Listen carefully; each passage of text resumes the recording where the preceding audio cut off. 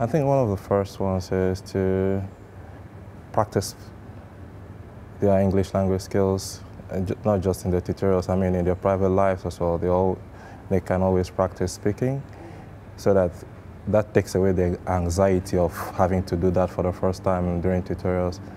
Then again, it's also helpful for them to read a bit about the subject that's going to be discussed in the tutorials. I mean, it's always easier to be more interactive when you have a decent knowledge of the subject being discussed.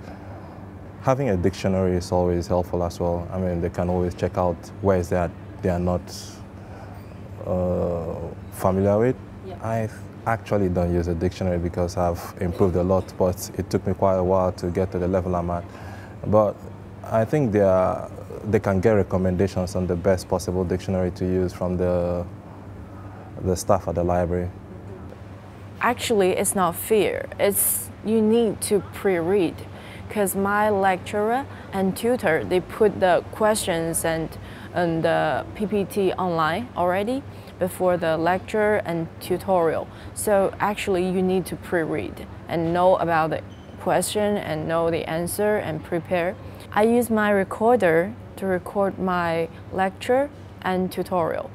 Um, so I, if maybe at the minute 10, I don't understand. So I just write it on my notebook. It's the minute, uh, at the 10 minute, I have some problem.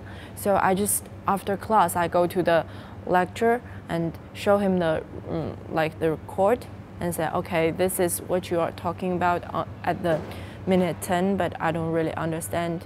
Yeah. Going to the lecture, is, it was very important. And um, I prefer to attend every, every uh, in each of them and uh, also um, try to find a partner for my assignments, uh, not the, um, in my own language, the student with the other language. I had to speak English with them. And I tried to speak English at home with my, uh, my sister and my husband. Yeah, it was very helpful. Yeah, and uh, these one helped me, these things helped me to participate in group activities, in tutorials, because uh, when I attend to the lectures, I get some ideas and uh, it was helpful to me to